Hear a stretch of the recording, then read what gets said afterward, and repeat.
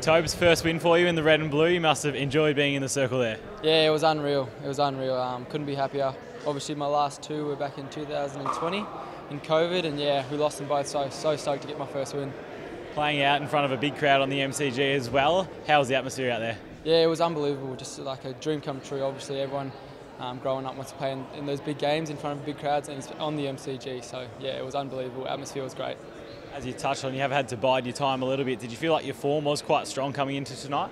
Yeah, yeah I felt like my form's been good for like yeah last year and a half. Um, but I, obviously, you know, we're a good team, grand final team last year. So yeah, I just kind of chipped away and finally got my opportunity tonight. And yeah, it's been a while since you've actually played footy. You haven't hardly had a match in a while. What was it like being back into some competitive competitive contests? Yeah, it was good. Yeah, obviously, like you said, you know, because of COVID, we've I think I've only played like nine odd games in the last two years, like competitively.